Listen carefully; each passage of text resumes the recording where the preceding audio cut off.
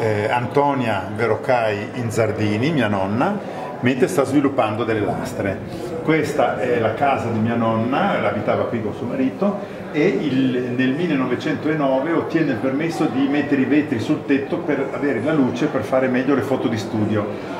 Lo studio esisteva già dal 1898, ma faceva le foto fuori, e per poter fare le foto belle in studio, quelle che tutti volevano, in costume, tutti seduti, poi, con la nonna, con i nipoti, eccetera, ci voleva la luce, non esistevano gli fari artificiali e quindi ricavò questa cosa sul tetto per avere la luce. Qui per esempio sta stampando delle foto a contatto con le lastre, con la luce del sole. Non essendoci la luce artificiale, era troppo scarsa, le carte erano poco sensibili, si metteva sotto la carta sensibile, sopra la lastra, si lasciava al sole un tot di minuti e poi si toglieva. Questa è la festa per eh, il compleanno del, dell'imperatore Francesco Giuseppe con lo sparo a salve, si vede il fumo del, dei, dei, fucili. Questo è, è prima della guerra naturalmente aveva già, lei era molto in gamba, molto sveglia, molto lucida, aveva già grande pubblicità in due lingue, camera scura, si sviluppano pellicole e lastre fotografiche. Questa è la, la, prima pattuglia di italiani che entrano a Cortina dopo 400 anni da quando l'impero austro-ungarico ci ha preso e ci ha fatto parte del suo impero. Eh, sotto la, eravamo sotto l'Austria dal 1513 quando sono arrivati loro come liberatori. Non si capisce che, da chi ci dovessero liberare, visto che l'Italia è nata nel 1863, 62. 66? 60? 66. 66, ecco. Quindi voglio dire, non ci dovevano liberare proprio da nessuno.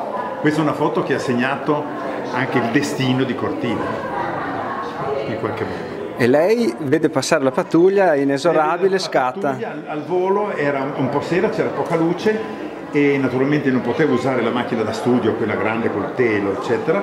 Quindi prende una Foiglender, eh, una macchina piccola con tre obiettivi, eh, uno per inquadrare e due che facevano le foto stereoscopiche. Tutte queste foto sono tridimensionali. Se si guardano con l'apparecchio adatto si vedono tridimensionali, perché era una macchina veloce e poteva scattare di fuori. Non solo, ma questa macchina aveva un furbissimo magazzino che teneva sei lastre, per cui lei poteva scattare una, fare così, scattarne un'altra, poteva farne sei in fila. Una macchina straordinaria che abbiamo ancora, abbiamo tutte le macchine. Oggi si chiamano raffiche? Eh, non proprio, ma insomma con le macchine a lastre bisognava smontare tutto, rimettere il telo, apri, chiudi, passava. Bellissimo. Sì. Un attimo.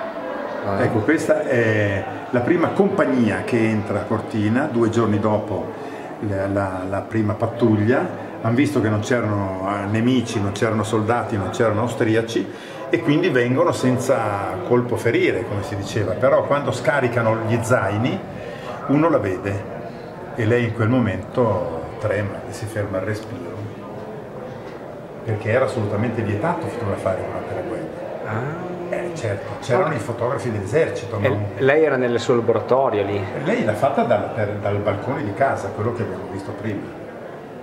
Poi però prende coraggio, va giù e fotografa sempre la stessa compagnia, vediamo qui lo stesso asino, lo stesso mulo che c'è qui, c'è anche nella foto qui sopra, e, e li fotografa da vicino, visto che loro non avevano obiettato niente, e prende il coraggio, va giù e li fotografa. E poi li fotografa anche qui di qua.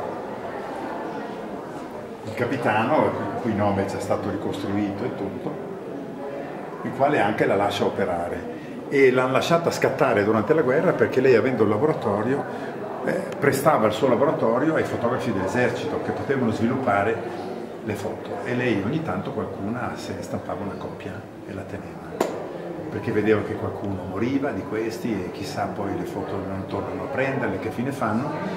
Morale, oggi abbiamo un archivio che va dal, dal 1898 eh, fino diciamo, alle Olimpiadi e sono circa 20.000 immagini, la maggior parte su lastre, tutte scansionate, pulite, eccetera. È stato un lavoro di diversi anni. Grande.